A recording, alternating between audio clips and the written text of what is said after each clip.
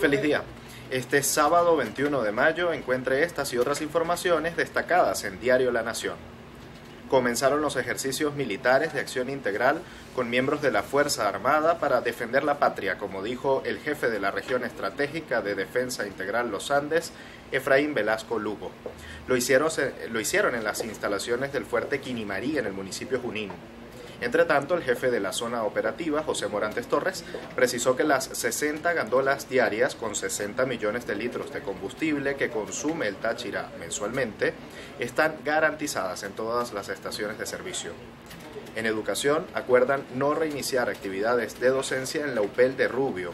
Trabajadores marcharon para exigir reivindicaciones salariales. También la Federación de Profesores Universitarios convoca a paro el martes 24 de mayo.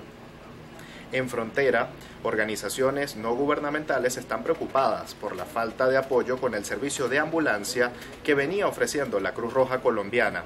Esto a pacientes en situación delicada que pasan el puente internacional Simón Bolívar de Venezuela hacia Colombia. En política, el gobierno gestiona comprarle alimentos a la red privada para ser distribuidos por los CLAP en las comunidades.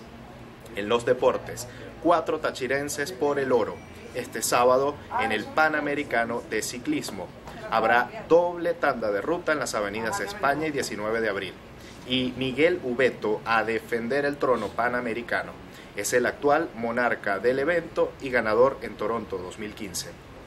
En los sucesos asesinaron a Metalúrgico en un pool de El Piñal. Desconocidos le propinaron cinco tiros en el rostro. Y vecinos y trabajadores de la Ferrero Tamayo afectados por la violencia de los últimos días. Lea el recuento de una semana de disturbios en el norte de San Cristóbal. Finalmente, en la sección de reportajes de nuestra edición dominical, lea en qué condiciones opera el psiquiátrico de Peribeca y cómo es la atención al paciente mental en el Táchira. Amplíe estos y otros datos en la impresa de Diario La Nación y en la www.lanacionweb.com, nuestro servicio digital. Revise nuestras redes sociales este fin de semana, arroba La Nación Web en el Twitter y en el Instagram y Diario La Nación en el Facebook. Hasta el próximo lunes.